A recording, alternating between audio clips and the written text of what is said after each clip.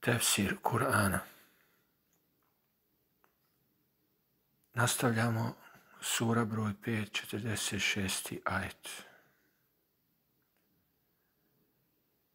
وَكَفَيْنَا عَلَىٰ آثَارِهِمْ بِعِيسَى ابْنِ مَرْيَمَ مُصَدِّقًا لِمَا بَيْنَ يَدَيْهِ مِنَ التَّوْرَاةِ وَآتَيْنَاهُ الْإِنْجِيلَ فِيهِ هُدًى وَنُورٌ ومصدقا لما بين يديه من التوراة وهدى وموعظة للمتقين Poslije njih, to jest poslije jevreja i tevrata koji su se spominjali u prošlom predavanju, to jest jučerašnjim ako ste pratili. Ako niste, pogledajte. Znači, poslije njih poslat je Isa, to je sin Merjemi, koji je priznao te vrat prije njega objavljen. A njemu je dat inđil, to jest evanđelj, u kome je uputstvo i svjetlo. Ovo je pogrešan svijet u kome je bilo uputstvo i svjetlo. Gledajte kako je to. Nema kraja u ovom pogrešnom prijevodu. Koliko grešaka ima. Koliko znam, Mustafa Mlivo je pisao da li je knjigu ili je pisao dosta o tome tekst sa naslovom Tisuću i jedna greška u prijevodu značenja Kur'ana od Besima Korkuta. Znači, ovo je pogrešan prijevod kao da je to nekad bilo i više ne postoji riječ bilo je nepotrebno, pogrešno daje značenje. Tako da je, koliko znamo u evanđelju, vidjeli ste da je Isus potvrdio te vrat, to jest Mojsijev zakon, koji je prije njega objavljen. Znači, to i dan danas se može pogledati u Bibliji. Tako da nije bilo, već to i dalje stoji u svetom pismu, u kome je također uputstvo i pouk. Onima koji su bogobojazni, odnosno koji su paživi, koji se čuvaju. Riječ je mutekin, kao što vidite,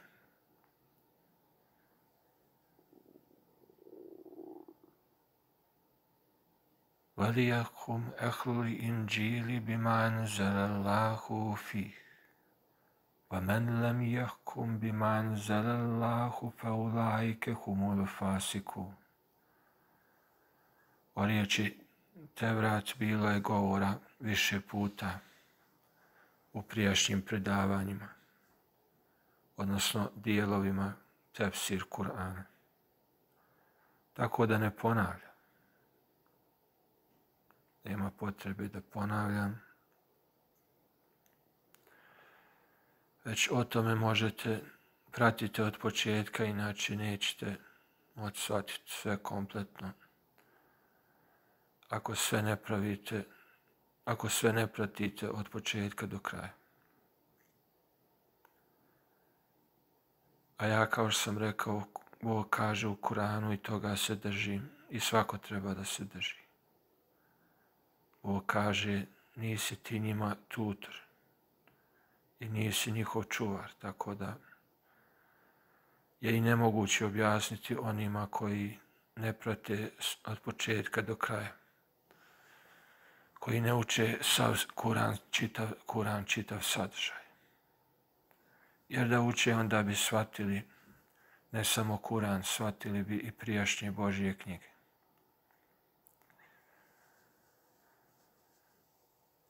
Evo ja sam baš čitao i knjige od poslanika Inoka. Njega Kuran spominje kao Idrisa. U bilo kojem slučaju riječ je osobi koju je Bog podigao sebi i pokazao mu nevidljivo i drugi svijet i šta ljude čeka i objasnio i, i baš dok sam čitao često me podsjetilo na Kur'an, toliko je slično Kur'an. Tako da jedno drugo, kao što vidite, podržava.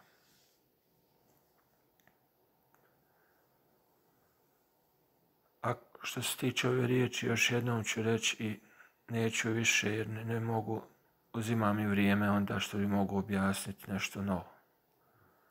Znači, nemojte misliti da vam tu to rišem, niti da vas sam vaš čuvar. Jer Bog tako nije odredio nikome. Svako ima i može naučiti ako ga Bog uputi. Znači, još jednom da kažem, utekin se često spominje u Koranu. Većinom se prevodi da se Allaha boji, odnosno bogobojaznost je u pitanju. Nekad se prevodi sa nekim drugim značenjem, tako da to moram ukazati, tako da biste znali da bi se držali originalnog značenja, da ne bi zalutali i pogriješili. Ali mutekin je isto tako znači neko ko je pažljiv, ko je svjestan, ko pazi, ko se čuva, ko se suzdržava. Tako reći. A što se tiče sljedećeg ajta. Velijakum ehlu inđili bima enzelallahu fih. A i sjedbenicima evanđelja je također naređeno da sude onako kako je Bog objavio u njemu. Pa tako i u Evanđelju vi možete vidjeti mnoštvo propisa i zakona, pravila i uputa koji se svi sjedbenici knjige trebaju držati, ne samo oni koji se zovu kršćani i židovi, već i bilo koji drugi koji se ne uvrštaju ni u kakve sekte niti skupine posebno. Već su uopćeno sjedbenici sjedbenici knjige, to je Božije knjige prijašnje objave. Znači, oni sude onako kako je Bog objavio. Sve ima baš piše i u poslanicima apostola, poslanicama sve piše i Isus gdje govori pravila i zakone i potvrđuje te, brat, sve to ima. Da se ljudi klone obožavanja idola i hrane žrtvovane idolima, da se klone bluda, ubojstva, krađe i bilo kakvog drugog zla i nasilja, da se ljudima sudi pravedno. Znači, ne, nije pravedno čovjek, na primjer, a sad to sve više dešava zato što zato što nema zakona.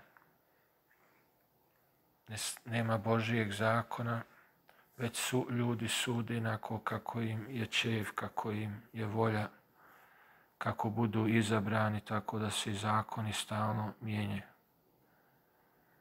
Tako da je veliki kriminal, haos, ratovi i propast na ovoj zemlji.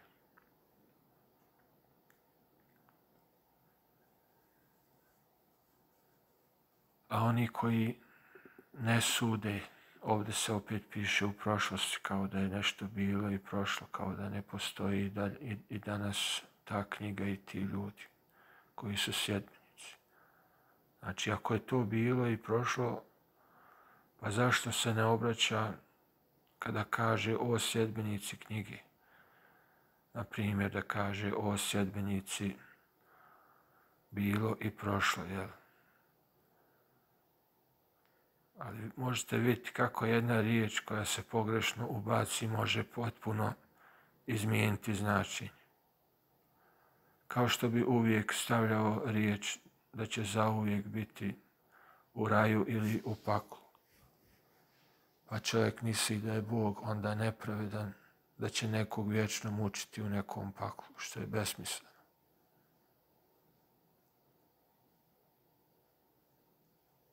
Jer Bog je pravedan, nepogriješiv, savršen i bezgriješan. Znači, koji ne sude prema nako kako je Bog objavio, pravi su fasiki. Kao što vidite, riječ fasiku. To su ljudi koji čine nered, haos, odnosno kriminalci. To su kriminalci, a kriminalac neće kriminalca zaustaviti. A da fino zaustavi kad ljudi nasilno pljačkaju, da im odsjeće šaku i da se opamijete, ne bi više nikada opljačkali.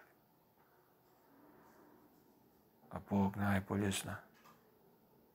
I još mnogo toga, ako što kažem, pošao sam reći, znači, mnogo toga sada vidi i šeitan i njegovi sjedbenici, pa su navalili masovna ubojstva ljudi po marketima, po dućanima, po tržnicama, znači po, u hramovima Božijim, svugdje i na svakom mjestu, jer znaju kad ih uhvate da neće im ništa. I onda se šetan okuraži, jer to je dosta podsvjesno koga ko sedi šetana, on ne može više ni da to prekine. Znači, toliko veza bude jaka među njima da, da jednostavno to su šetanski, šetanova, šetanovi ratnici. Znači, na šetanovoj su strani i bore se ubijajući nedužan narod. I on zna kad ga uhvati da mu neće ništa biti. Da će mu dati gdje da živi i šta da jede, i da će mu čak bolje neg, neg mnogi što slobodni ljudi žive koji se pate, nemaju pojest kak treba. Niti imaju doma kako treba, niti bilo šta. I šta će on ubio 20 ljudi, na primjer, još više toliko da ih je ranio. Pa znate koliko je on bola izazvao samo ranjavanjima, što ljudi moraju pretrpiti tolike bolove. Ne samo kad ranije, već i poslije dugo vremena i do kraja života rane uvijek bole. Znači, rane nikad ne prolaze. Čak i operacije ljudi rade neke i sve to je isto povreda. Znači, onaj hirur kad reže nožem, isto je kao neko drugi da ubode isto tako nožem sve to za tijelo jedna velika patnja i bol.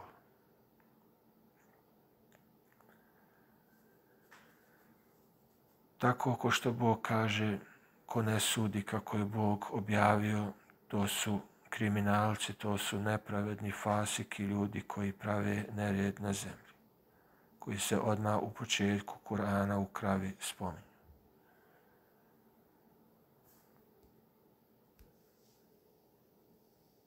وأنزلنا إليك الكتاب بالحق مصدقا لما بين يديه من الكتاب ومخيمنا عليه فاحكم بينهم بما نزل ولا تتبع أهواءهم أما جاءك من الحق. لكل جعلنا منكم شرعة ومنهاجا ولو شاء الله لجعل لكم أمة واحدة. ولكن ليبلوكم فيما آتاكم. فاستبيقوا الخيرات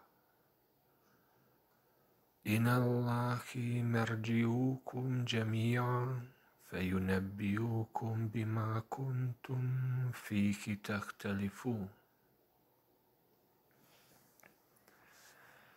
Malo je duži ajet, tako da objašnjava fino. A tebi se objavljuje knjiga koja je istina. Da potvrdi prijašnje knjige koje su objavljene i da nad njima bdi. I tim sudi prema onome što Bog objavljuje i ne povodi se za prohtjevima njihovi. I ne odstupaj od istine koja ti dolazi. Svima vama smo zakon i pravac propisali. A da je Bog htio, on bi vas sljedbenicima jedne vjere učinio. Ali on hoće da vas iskuša u onome što vam propisuje Zato se natječite. Ko će više dobra učiniti? Bogu ćete se svi vratiti, pa će vas On o onome u čemu ste se razilazili obavijestiti.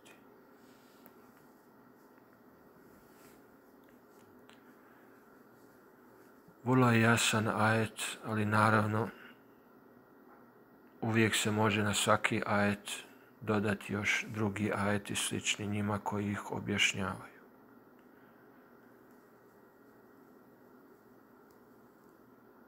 Znači, evo, vidite kako ide tefsir Kurana, tako možete i sami tefsirati. I baš sam isto preslušao još nekog čovjeka. Znači, ima još ljudi koji uče tefsir Kur'ana. I baš vidim čovjek kao i ja slično tefsira, objašnjava Kur'an Kur'anom. Ali nije isto, naravno, svako ima svoje znanje koje mu je Bog dao. Pa tako, tako je kako je. Znači, Božija je dobrota svakom od nas. Pa i nešto malo da znaš je bolje nego neko ko ne zna ništa. Znači i tebi, Muhammed, poslanik, neka je mirnja. Isto tako se objavljuje knjiga istinita. Znači koja je hako, koja je sušta realnost i činjenica koja potvrđuje knjige koje su prije nje objavljene. Kao što vam kažem, ja baš sam čitao i snimio sam do duše na engleskom. Ali i bolje učite strane jezike, posebno engleski na prvom mjestu. A i ostali, znači, što više naučite, to bolje samo u jezicima ljudskim je Božiji dokaz ljudima koji imaju pameti da shvate, da razumiju. Znači, knjiga koju sam čitao poslanika Inoka i baš me podsjećalo na Kur'an, toliko je slično kao, rekao, na, to je nevjerovatno, bio sam tako iznenađen kao da čitam Kur'an. Eto, isto Kur'an. Rekao, šta je ovo novi Kur'an, zar je ovo moguće? A jeste, Bog je sve moguće se ove knjige potvrđuju jedna drugu. I Kur'an nad njima bdi, jer je objavljen poslije njih. I tim također sudi nako kako je Bog objavio i ne povodi se za prohtjevima njihovim. To je za njihovim željama, idejama, filozofijama i pametom. I ne odstupaj od istine koja ti dolazi. to jest od Kurana, u kojem je jasno uputstvo i opomena i radosna vijest i još mnogo toga. Znači, svima vama smo zakon i pravac propisali. Baš juče na YouTube neki pljačkaroši i ja komentar stavim, odsjećite im ruku. I problem riješi. Znači, u ime Boga kažem, pa naravno, nije lako reći tako nešto. Jer mnogi su kriminalci koji su još nisu pokazali sva lica i onda oni podržavaju jedni drugi. Ali Bog kaže šetanova spletka je plitka. To jest spletke džavola i sotone su veoma plitke. Primjer bi vam dao kao sa artificial intelligence, sa vještačkom inteligencijom o kojoj ljudi toliko pišu i još snimaju još filmove koji su prepuni šokova za naš ovaj ljudski um. ali filmove treba shvatiti više kao reklamu za knjige od kojih su nastali. Znači, kao kad reklama nešto reklamira, pa kupiš proizvod, sama reklama nije bitna. Ona je samo poziv. Nije da nije bitna, već nije ključna. Tako je bolje, bolje je tako da se izrazim.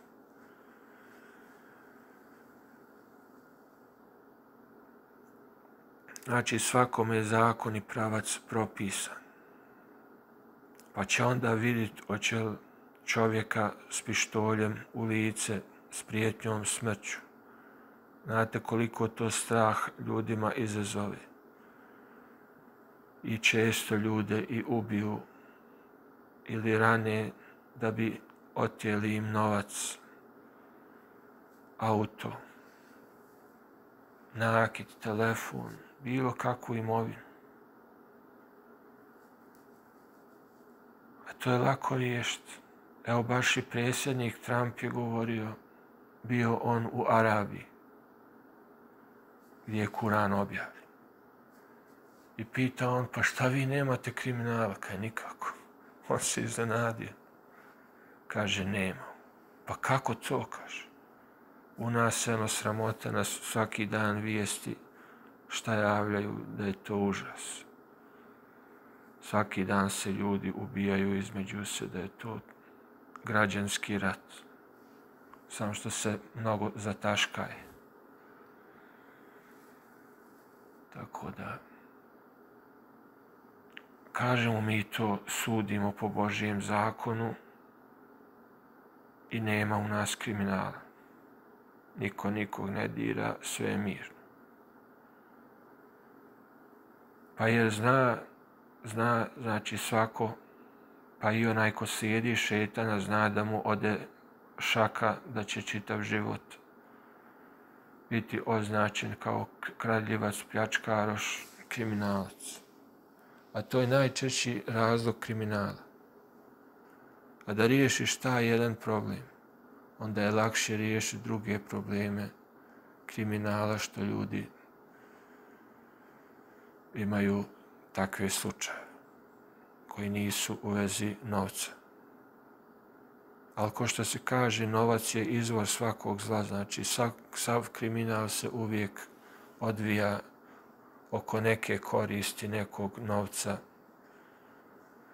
Tako da ako se tim kriminalcima nestane, oni se samo okuraže, eno baš juče su napali i policiju ti kriminalci okuražili se više, obuku se uniforme i napadnu šta imaju neka oružja i ove petarde što su legalizovali, to sam govorio, nisu smjeli legalizovati. Jer ne treba običnom narodu to pokazivati, te petarde i vatrome, to je, to je ratna igra, to je za ratovanje. to se može zloupotrijebiti. I mnogo toga. Znači, bilo šta je oružje u rukama kriminalca, ne samo, znači, bilo kako oružje on, pa i sam sebe da koristi kao oružje da udari druge ljude i povrijedi. Znači, ljudi su jaka stvorenja. Ti kriminalci kad podivljaju, on može jednim bokserom, jednim udarcom more ubiti čovjeka. I zbog nekog kriminala najčešće zbog pljačke. Bilo je slučajeva, na kamerama sve ima, eto, gledajte, pun je YouTube tih snimaka o policiji, kako hvata te kriminalce i kakvi su ti kriminalci, da su oni nenormalni, da se ljudi uvjeri da policija je nevina, da nije policija kriva. Jer su došli do te mjere da su policiju optužuju stalno i napadaju. Tako da je predsjednik Trump se začudio kad je došao u zemlju, nema nikakvog kriminala, nema ništa, sve mirno ljudi. I to se osjeti, osjeti se. Ko prije rat u nas, što nije bilo tako kriminala.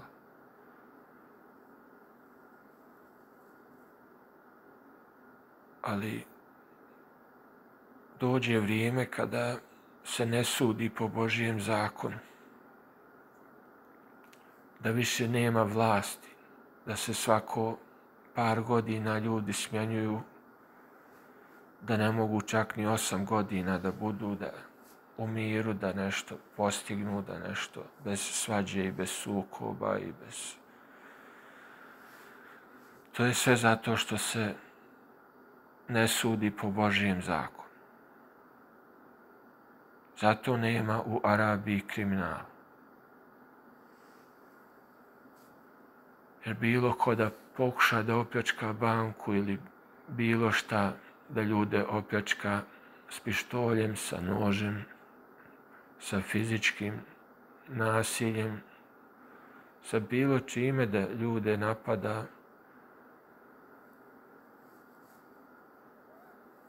to nema u Arabiji, zato što sude po Božijem zakonu. I ako ih uhvate takve, na vrijeme ih uhvate i na vrijeme ih kazne i onda nema ovdje ih uhvate, onda ih puste, onda oni opet budu sve gori i gori, onda ih puštaju sve tako, jer ne može i vječno ni držati zarobljene, odnosno u zatvoru.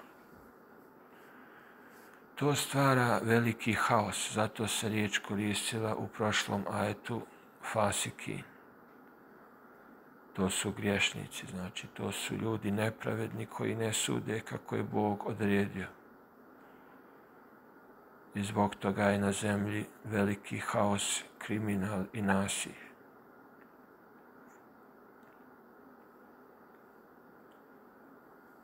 Ovdje se spominje riječ kao što vidite umet. Umet je zajednica. Dok je prevedeno kao sljedbenicima jedne vjere.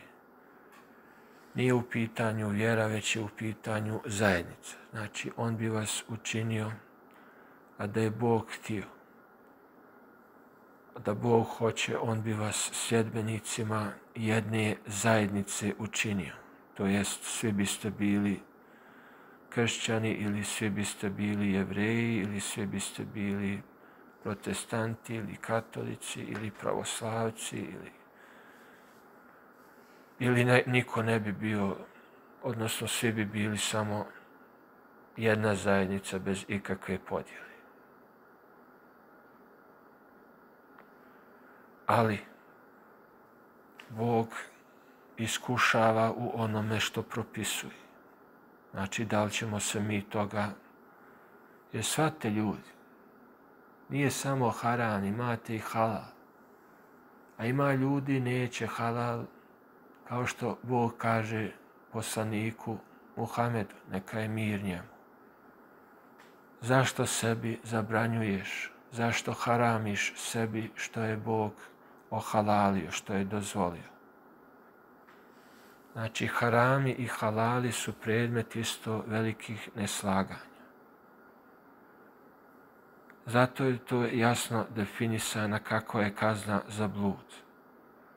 Pa nema predsjedniče Trump isto kad dođu nema bluda, nema pornića, nema pornografije, nema prostitucije. Zato što je kazna sto udaraca prutom u suri svjetlost. Pa Trump se je pravo zagrio jer je vidio da ta vjera donosi plodove, da nešto ima tu istini. Jer čovjek je istino ljubiv. Ima ljudi koji su istino ljubivi i oni vole istinu i on neće ti nikad slagati. Ne mora ti biti ni prijatelj, ni neprijatelj, ni poznanik. Takva im narav. Ja isto tako ne volim slagat, rađe ću reći istinu pa makar na moju štetu.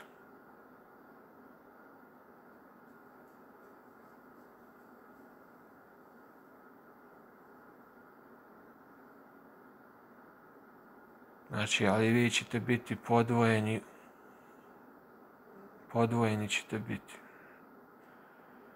I takva je sušta realnost kao što vidite. Zato se natječite. Ljudi idu neki tenis, sport, sve to lijepo, tenis, futbali, košarke, rukometi, šta sve. Neću reći da je glupost.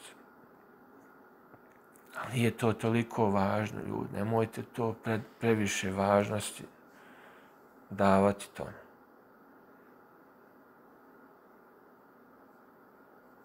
Znači, natječite se bolje, bolje napravite sport, ko će kako što veće dobro dijelo učiniti. Znači, natječite se ko će više dobra učiniti. To, a to je rijetkost. Nekad je bilo više ali vremena su došla, mijenja se uvijek vremena, uvijek se ponavljaju i loša i dobra vremena, Bog zna najbolje.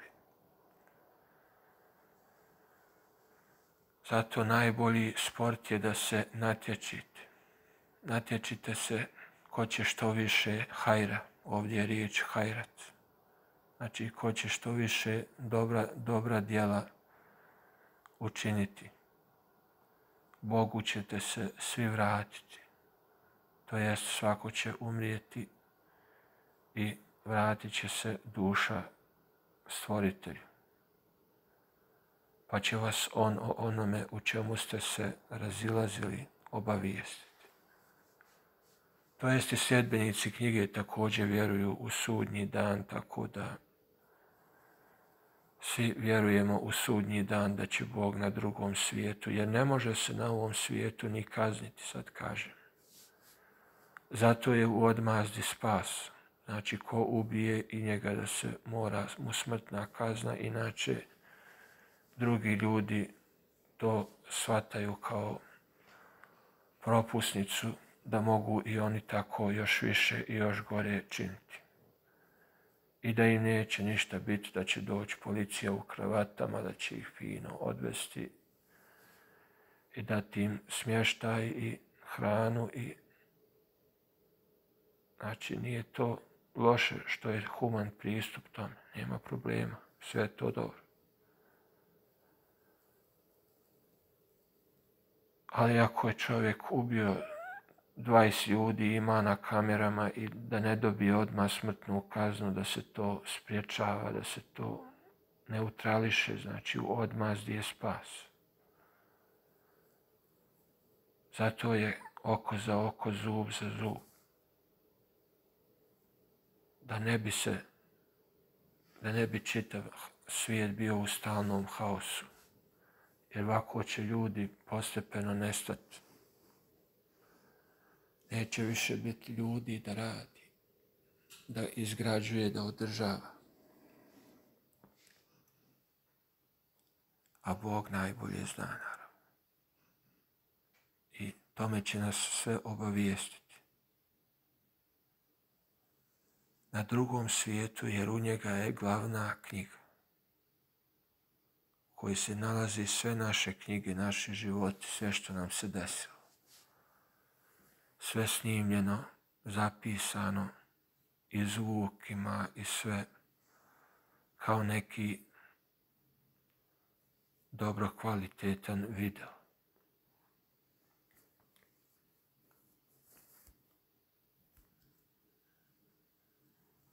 وأنحكم بينهم بما أنزل الله ولا تتبع أهواءهم واخذرهم أن يفتينك عن بعض ما نزل الله إليك؟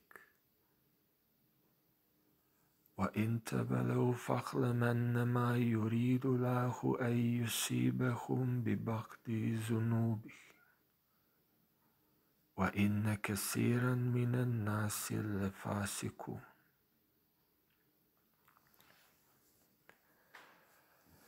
Tako im sudi prema onome kako je Bog objavio i ne povodi se za prohtjevima njihovi. I čuvaj ih se da te ne odvrate od nečega što ti je Bog objavio.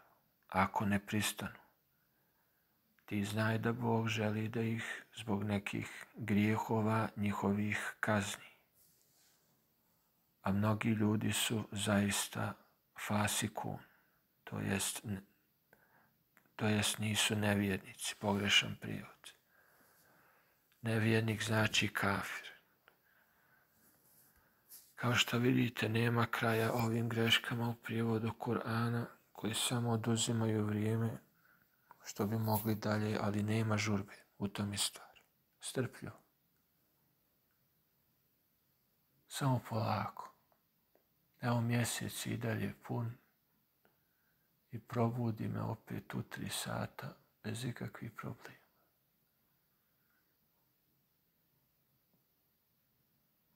Moramo biti strpljivi. Znači šta možemo? Okreni se, izdvoji se ko što Bog kaže, ako neće tako.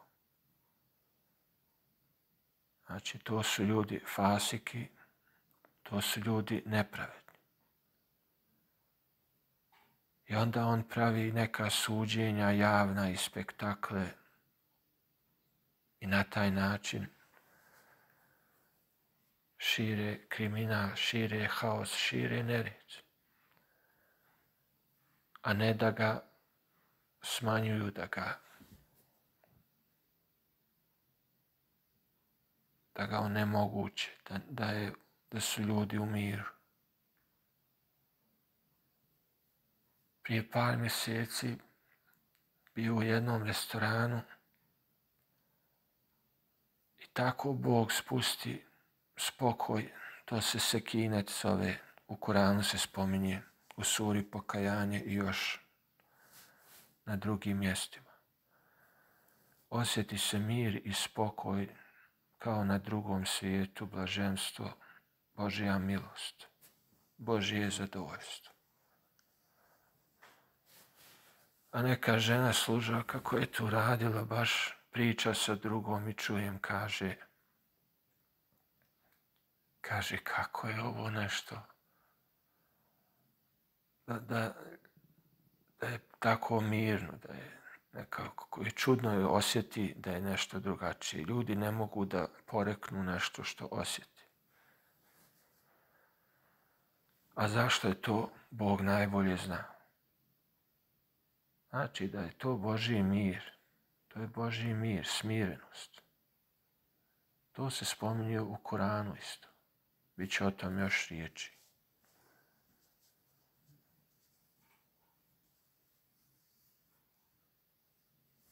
Znači, sudimo po Božijim knjigama, po Inđilu, po Tevratu, po Kur'anu i nemojte se ljudi povoditi za vašim prohtjevima. Opet se ovo ponavlja, koji u prošlom ajetu. Znači, dobro utvrdite i dobro se pasite. Tako da, da, da vas ne odvrate od nečeg što Bog objavljuje. to jest sva pravila zakona, šta je dozvoljeno i šta je zabranjeno. Znači ima ljudi, zabranjuje i nakit, pa nije Bog haramio nakit, nemojte ljudi lagati. Tako ljudi stvaraju haos, haos i zabune.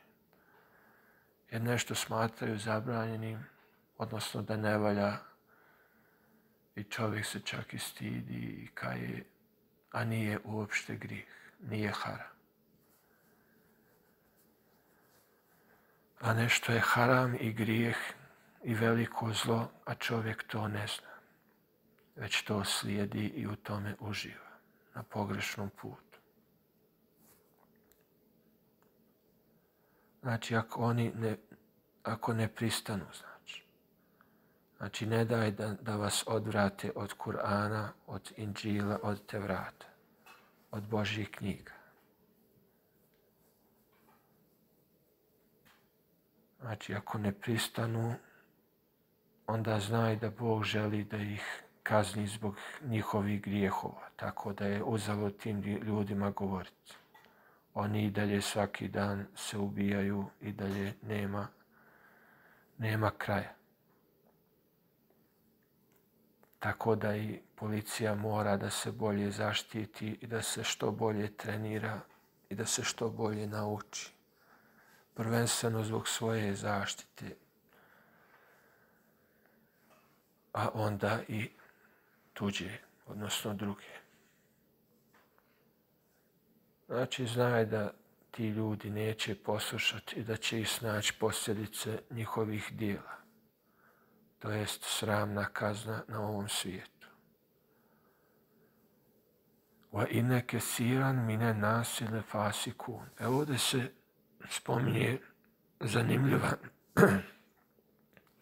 zanimljiva činjenica se spominje. A to je da su većina ljudi, to jest čovečanstva, nije da su nevjernici, već da su nepravedni, da su fasiku, da su nepravedni. Znači, zato što većina ne sude po Božijem zakonu. Ako sude, onda će im biti i mir i spokoj, pa će ljudi da se čuje, čude šta je ovo mirno šta je ovo neki osjećaj spokoja i bezbjednosti i smirenosti, a Bog najbolje zna.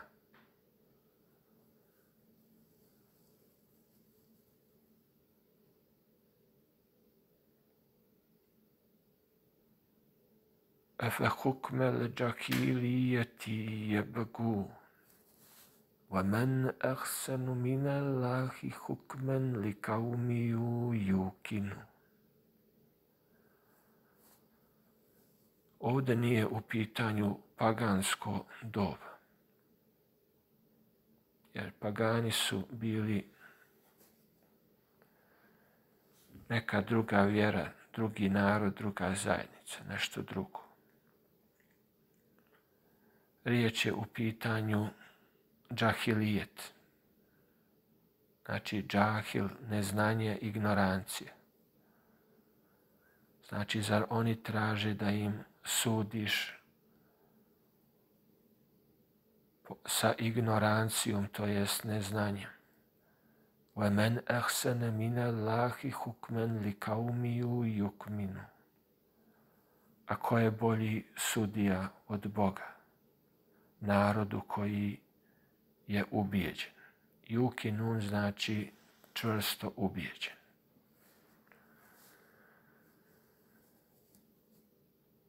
يا أيها الذين آمنوا لا تتخذوا اليهود والنصارى أولياء. بعضكم أولياء بعض ومن يتولهم منكم فإنه منهم. إن الله لا يهدي القوم الظالمين. Ovo riječ se završava zalimin. Zadnja riječ je zalimin, da znate, riječ je o zalimima, o zločincima, o kriminalcima. Znači nije puka nepravda, jer, ni, jer fasik je više nepravedno. Evo ovdje je bila fasik, ali to je stavio da je nevjernic pogrešno. Ovdje je zalimin, znači oni koji čine zulum, koji čine zlo, nepravdu. Znao je nekad preves nemojte uzimati za prijatelje. A evo sad je preveo ispravno da se ne uzimaju za zaštitnike. Kao što vidite, kad je ispravno, ispravno je, kad nije, nije. Da niko ne misli da imam protiv bilo koga, nemam ništa protiv bilo koga. Svi smo Božja stvorenja i ravnopravni. Znači u ovom slučaju je ispravno preveo zaštitnike kao što vidite. Zašto nekad bi preveo kao prijatelj umjesto opet zaštitnik? Nije mi jasno, ali Bog, Bogu je jasno, Bog sve zna. Znači nemojte uzimati ne samo nevjernike, nemojte ni mušrike, odnosno nikog, ni mušrike, ni kafire, nevjernike, pa ni, ni jevreje, niti kršćane za zaštitnike. Oni su sami sebi zaštitnici. A njihov je onaj među vama koji ih za zaštitnike prihvati. Kao što Bog kaže, kršćani i židovi neće biti zadovoljni s tobom sve dok njihovu vjeru, to je sve dok ne postaneš kao i oni kršćanin ili židov. Tako da Bog neće ukazati na pravi put ljudima koji ovdje se ne piše sami sebi nepravdu, ne spominje se nefs, znači Bog neće ukazati narodu nepravedno. Tako bi bio bolji prijevod. Riječ po riječ.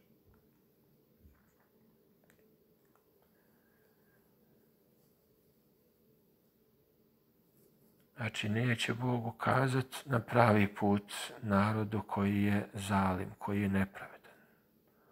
Zato sudite kako je Bog odredio i nemojte prihvatati za zaštitnike.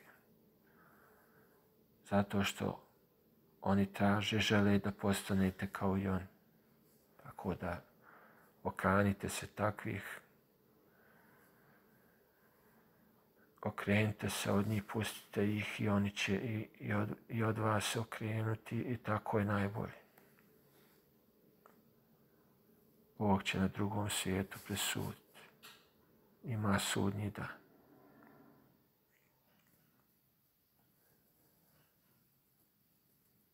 فترى الذين في قلوبهم مرض يسارعون فيهم يقولون نخشى أن تصيبنا دائرة فعسى الله أن يأتي بالفتح أو أمر من عنده فيصبحوا على ما أسروا في أنفسهم نادمين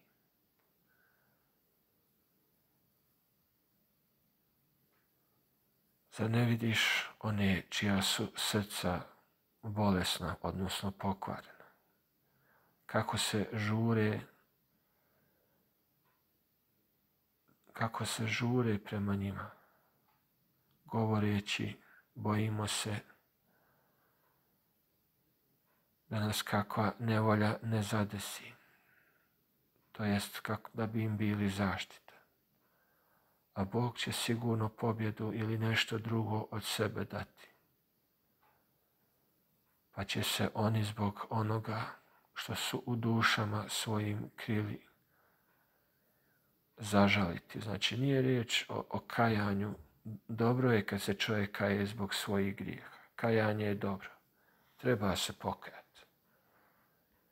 Treba se pokajati i zatražiti oprost od Boga. To je svakako sušta istina. Ovdje je pitanju žaljenje, znači da ne bi zažalili. Znači da ne bi kasnije zažalili, a to je nešto drugo od kajanja.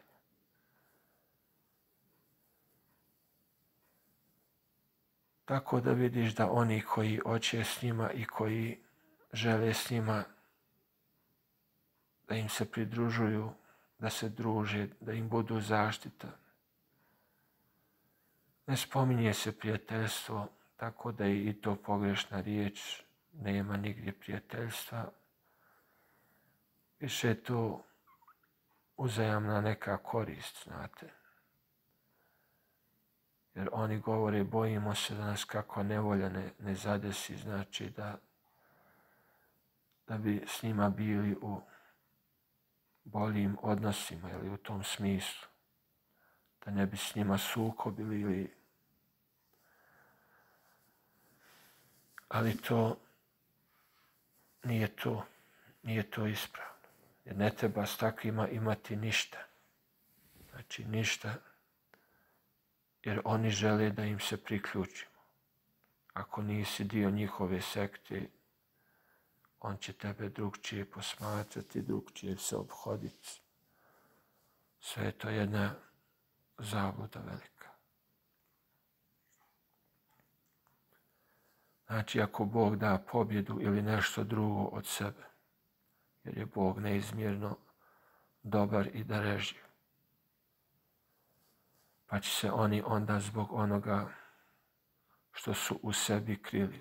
Ovdje nisu isto tako duše. Ja sam jučer spomenuo nefs duša, ali nisam vam još dodao, znači nije nefs duša. Duša je ruh. Ruh je duša, kao, kao na primjer, ruh il kudus, sveti duh ili duh sveti, ako ćemo riječ po riječ. Jer kako koji narod i gramatika, obrtanje riječi naprijed, nazad, uglavnom svako svoje zna. Bitno je da se ljudi razumiju i da se mogu dogovoriti. Znači ovdje nije ruh, nije duša, u pitanju je nefs, znači sobstvo. Znači kad bi išli da prevodimo riječ po riječ, fejus, fejus bihu alama esarru fi anfusihim nadim pa će oni zbog onoga što su u sebi krili poslije zažaliti. وَيَكُولُ وَدِينَ آمَنُوا أَحَاُولَا إِلَدِينَ أَكَسَمُوا بِاللَّهِ جَهْدَ إِيمَانِهِ إِنَّهُمْ لَمَعْكُمْ خَبِتَتْ أَخْمَالُهُمْ فَأَسْبَحُوا خَاسِرِينَ a oni koji vjeruju. Zar su ovo oni koji su se zaklinjali Bogu, najvećom zakljetu, da su zaista s vama? Dijela njihova bit će poništena i oni će nastradati. Ajet se završava sa riječju hasiri. A hasirin znači nastradati. To je stradanje i tako je najbolje kad se prevede.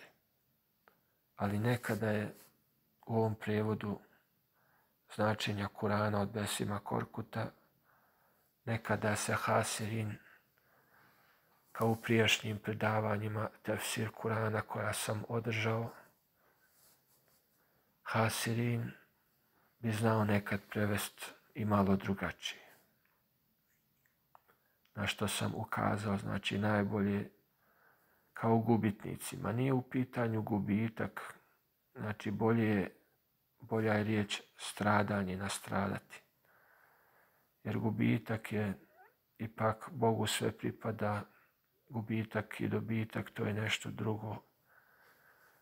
Ne bi bilo riječ ipak prikladna, bolja je prikladnija riječ je nastradanje, stradanje. Tako da bilo kakva djela da ti ljudi učine, bit će poništena, jer nisu učinili da bi činili dobro, već da bi počinili zlo.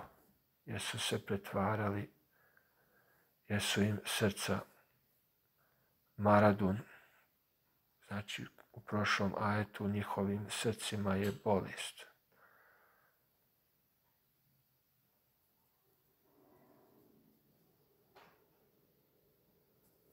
Znači, a zaklinjali su se najtežom zakletvom, znači i klanjali su i, i sve su radili i činili da su sto posto vjernici javno i tajno.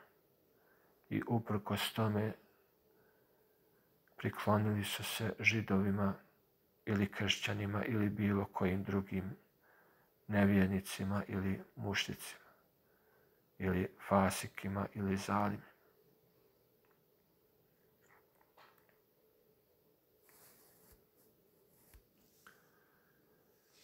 Ja ju aladine amenu. Me yartad minukum an dinihi fasawfa yaqtilah فسوف يختلاق بقوم يحبوهم ويحبونه أزلة على المؤمنين أعزة على الكافرين. أعزة على الكافرين يجاهدون في السبيل ولا يخافون اللمة اللعين.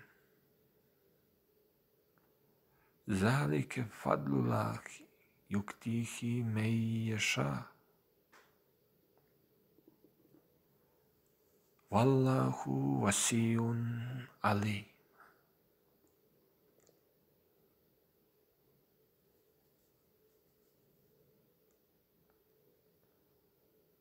Ovi koji vjerujete, ako neko od vas od vjere svoje otpadne, Pa Bog će umjesto takvih dovesti ljude koje on voli i koji njega voli.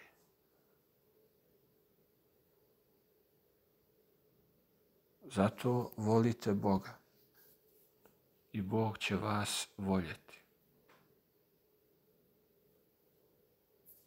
Kao što se spominje u Inđilu, Isus, sin Merjemin, je o tom govorio –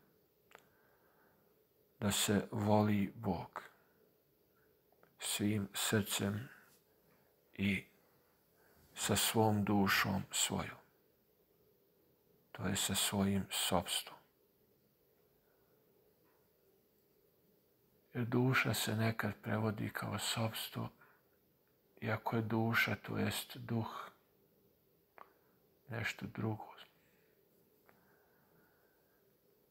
Što se također spominje u Koranu, kaže Bog, pitaju te o ruhu, o duši, reci, vama je dato samo malo znanje o tom.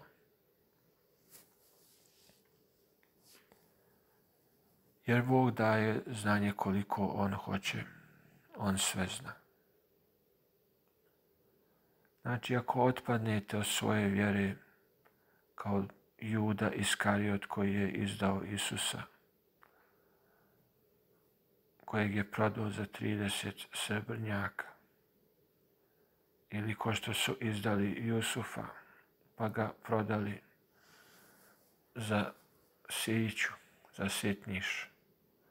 Jedva čekali da ga se riješe, bud zašto da ga prodaju.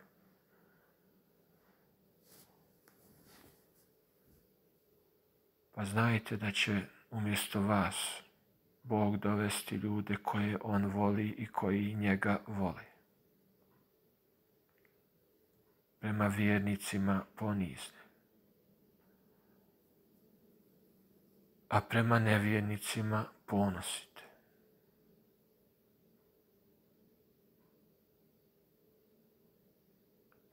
Oni će se na Božijem putu boriti i neće se ničijeg prijekora bojati.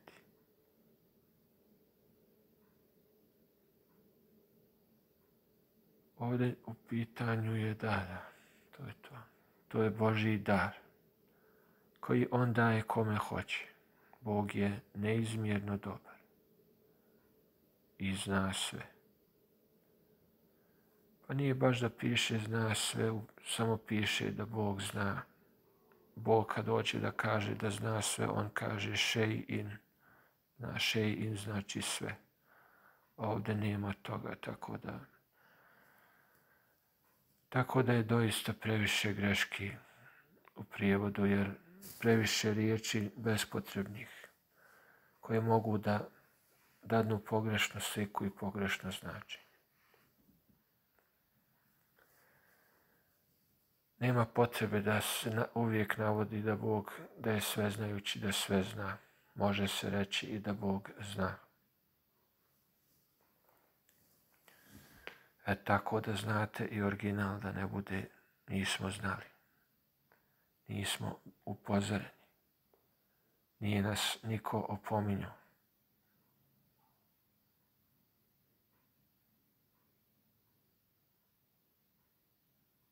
Znači, dobro je biti ponizan, kao što vidite. A nekad bi ovaj Besim Korkut, baš jučer sam u tefsiru govorio o tome, u jučerašnjem tefsiru Kur'ana, o poniznosti. Za hizije fil hajati dunja, za sramotu na životu Dunjaluka. On je prevodio poniženje ih je snašlo na Dunjaluku na ovom svijetu. A nije ih snašlo poniženje. Poniženje, poniznost, to je dobro. Snašla ih je sramota. Ovdje je dobro preveo, znači vjernicima ponizne. Treba biti ponizan, ljubazan blag, nježan i milostiv, dobroćudan, sažaljiv, saosjećaj. Sve je to dobro. Znači, voliti Boga i voliti i vjernike, znači susjede svoje, najbliže se, To jest vjernic, to jest vjernike prve, najbliže susjede voliti svim srcem i, svoj, i, i svojom dušom, to je svojim sobstvom. Znači u nas je, a prema nevjernicima su ponositi. Nije to ponositost kao što je ponositost u smislu oholosti i uzdizanja već to je čvrstina i ozbiljnost. Znači, oni će se boriti na Božijem putu. Oni će biti vojska. Biće vojnici, morat će. Ima ljudi neće da se bori, pa onda na kraju mora. Nasilu ga natjera. Pa zašto nisi onda bolje odma prihvatio i fino sjedi u rovu jednom vidim jednog čovjeka, ja kažem, pa i ti u vojsci, kaže, jes. Pa otkud to, pa znam njegovog oca, kaže, Kako ti je to. Pa nisi srbin, nije čovjek srbin, a u vojsci srpskoj. A ja bio zarobljen među srbima. Držali me zarobljenog. I ja baš razmišljam, u pravu je čovjek. Jer on će tu makar sjedit, neće ni pucat tamo, bolje mu je i to. Makar sebe može odbraniti, jer može ga neki Srbin koji je zločinac napast i ubiti.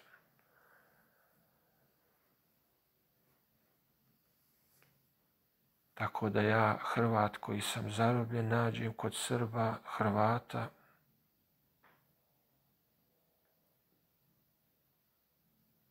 u srpskoj vojsci, obučen kao srpski vojnik. Stvarno je neobično sva što čovjek vidi na ovom svijetu. Zato borite se ljudi, šta ćeš, mora se, kogod je sposoban za vojsku, bolje mu je, inače će ga to snaći. Napast će ga neko ko zna šta je to, šta je ta vojska i oružje i sve šta je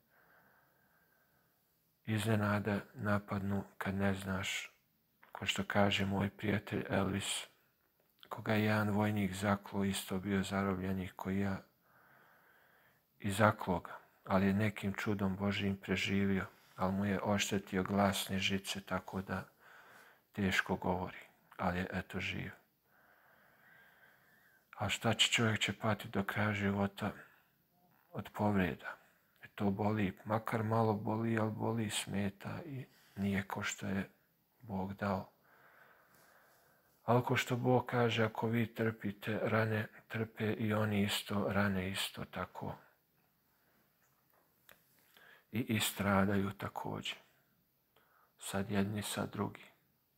Znači, oni koji će se na Božijem putu boriti, to jest bit će u vojsci, neće biti oni koji će bježati, koji će lagati i varati, znači biti i s ovima i s onima i s jednom stranom i s drugom. Pa ne može to tako ljudi.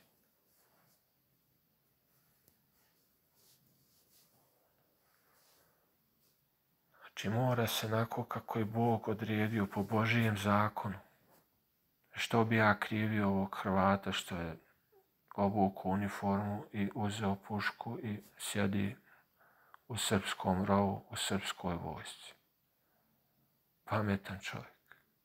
Da nije poslušao, onda bi ga tukli, mučili i ubili i šta mu sve ne bi bilo.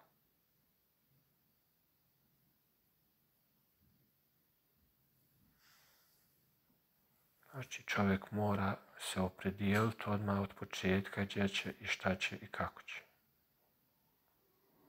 Bog najbolje zna.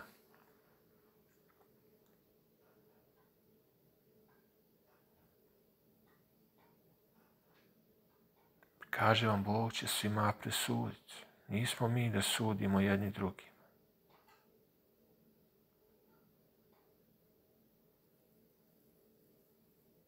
Znači, ti ljudi su pravi vjernici koji će se na Božijem putu boriti, neće se nikoga bojati. Neće se bojati nikoga i ničega, osim Boga jednog i jedinog. E takve ljudi kad vidiš, oni su čvrsti i ozbiljni.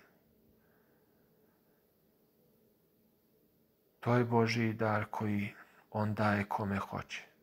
Znači, koga Bog voli, koji čini ono što Bog voli, a ne da čini ono što Bog ne voli. A Bog je neizmjerno dobar. Vasijun je isto riječ koju, koja je prevedena, vidite, sa dvije riječi. Neizmjerno dobar pošto ne znam da li mi imamo u našem riječniku riječ da bi mogli prevesti nekog ko je neograničeno dobar. Kao što je vasiona, znači kao što je svemir neizmjerno velik sa beskrajnim brojem neizbrojenih, neizbrojenih zvijezda za nas ljude, ali Bog ih sve zna i sve ih je stvorio i sve detalje. Innema velijukumu lahu wa rasulu. Vidite, ovdje se riječ spominje opet velija. Znači, to je česta riječ, često se spominje. Znači, zaštita. Tako da uvijek znamo da je u pitanju zaštita, a ne neko prijateljstvo jer nema tu nikakvog prijateljstva.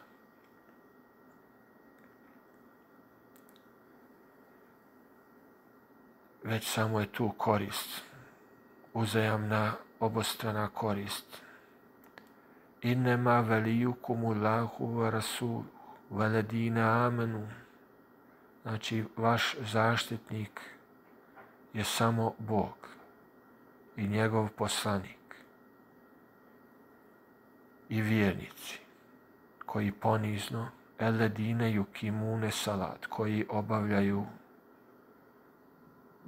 Ovdje ne piše ponizno, tako piše samo koji obavljaju salat, tako da koji obavljaju molitve, to jest namaz, koji klanjaju. Vajoktune zekah i koji daju zekat, to jest milostinju. Vahum rakiju. Jer znajte, sadaka se udjeljuje. To je nešto drugo. Sadaka je poklon, dar. Sadaka je dar, znači darovanje, pomaganje. A zekat je, to je porez. Znači to se daje, to se plaća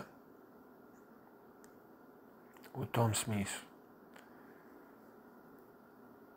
Vahum rakiju. I ima ponizno, ali na kraju znači. Na kraju je riječ i koji su ponizni. Znači da se zna da čovjek mora biti ponizan.